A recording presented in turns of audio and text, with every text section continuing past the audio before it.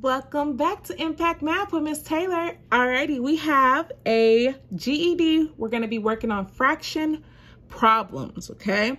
So 18 out of every 24 people surveyed say they went to at least one movie in December. What fraction of the people surveyed went to at least one movie in December? December. Okay, so 18. So we're going to do 18 out of 24. And we're going to reduce this. So what we're thinking about is what does a number, what is a number that goes into both of these? So if you're not good at that, well, just ask yourself what times what gives you 18? Well, 2 times 9 does.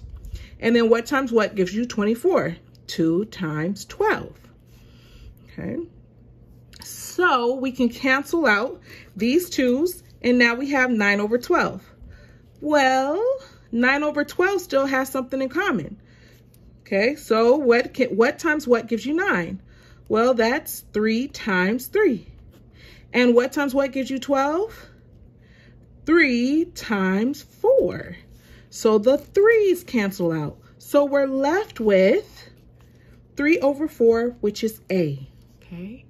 And there's a different way that if you know right away that six goes into both of these, you could have just done it by six, right? But that's only if you're good at your multiplication, if you can see it.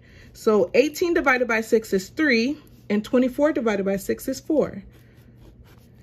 So there's multiple ways to get to your answer. Whatever works for your brain, you do that method, okay? Okay, let's go to the next. Which of the following fractions equals 2 fifths? So if we're going to have 2 fifths, and I'm looking at all my answer choices, they all have 100 at the bottom. Well, I'm thinking 5 times what can give me 100? So if I do 5 times 20, that's going to give me 100.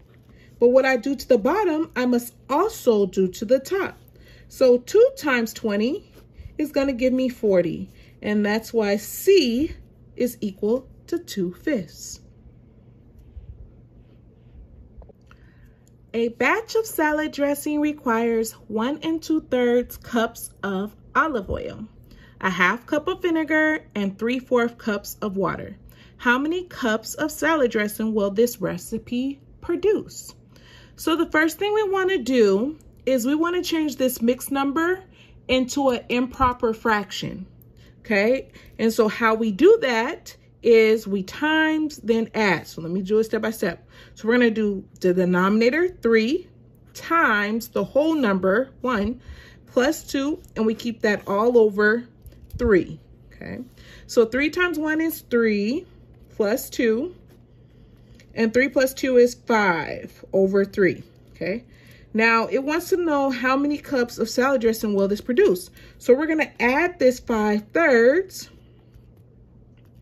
plus 1 half plus 3 fourths to figure out how much we have in total. But the problem is, in order to add fractions, you have to have the same denominator. So what we're thinking about is what does 3, 2, and 4 go into? Well, what they both go into is 12. Okay. So now that I know that I need these numbers at the bottom to be 12, I can say 3 times what gives me 12? Well, 3 times 4. And what I do to the bottom, I must do to the top. And then 2 times what gives me 12? Well, 2 times 6 gets me 12. And then last but not least,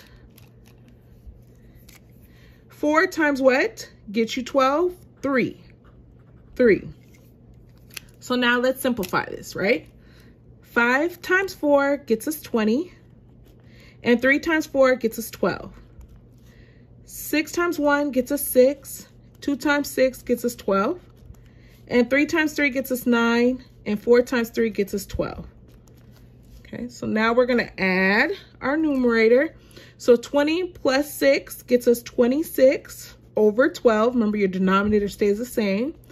Plus 9 twelfths.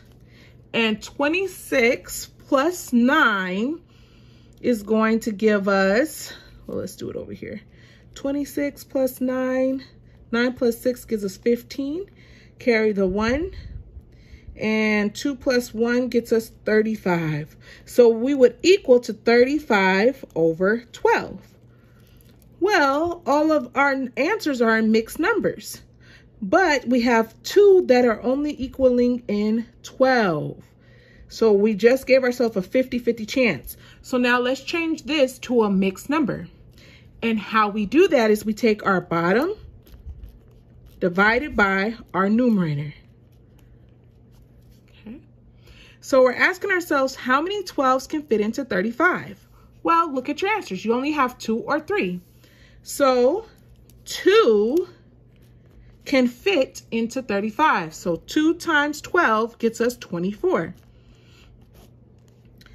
And then we're going to minus. So we get 3 minus 2 is 1. 4, 5 minus 4 is 1. So we're left over with 11. So we take our remainder and put it over what we're dividing by. And so C is our answer. Alrighty, let's go to the next. Thank you so much for watching. Um, and please share. Thank you for your support. Let's get into the number four. To make the top of a dining room table, Craig get glues a piece of oak that is 5 16 inch thick to a piece of pine that is 7 8 inch thick. What is the total thickness in inches of a tabletop? So this is huge right here, total. So when I'm trying to find the total, what that telling what that is telling me to do is I'm going to add 5 sixteenths plus 7 eighths.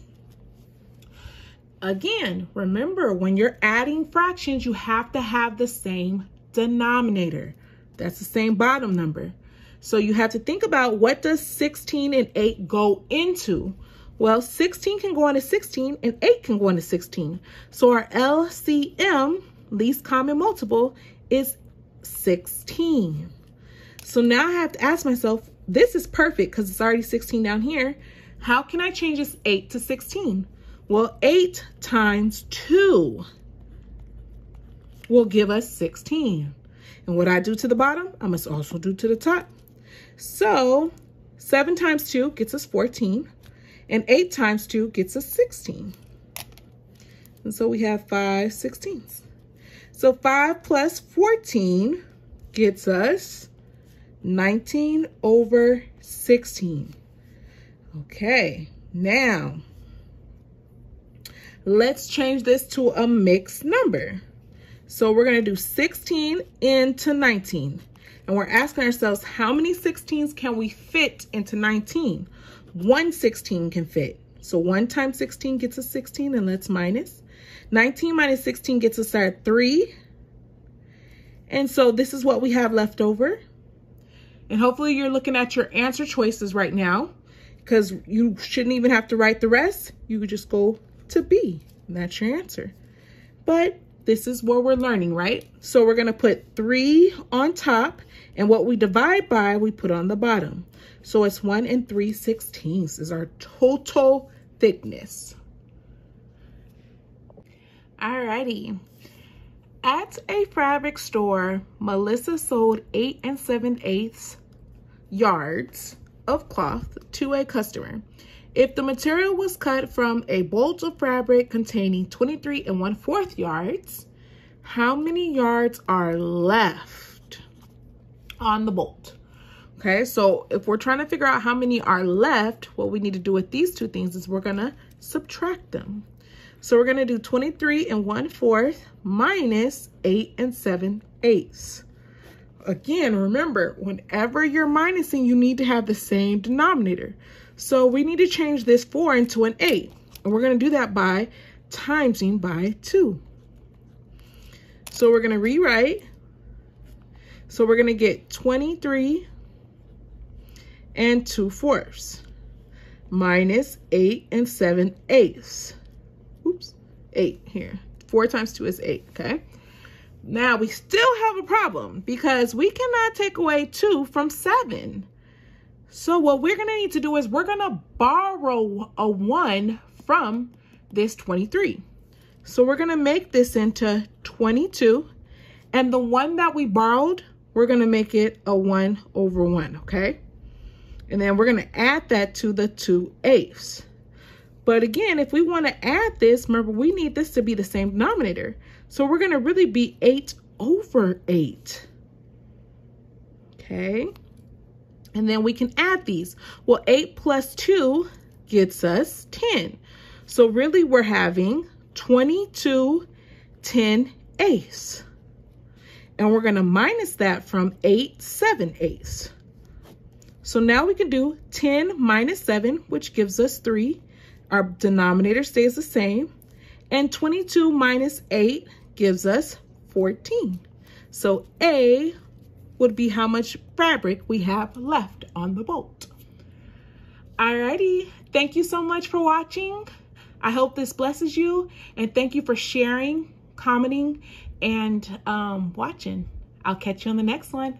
Bye.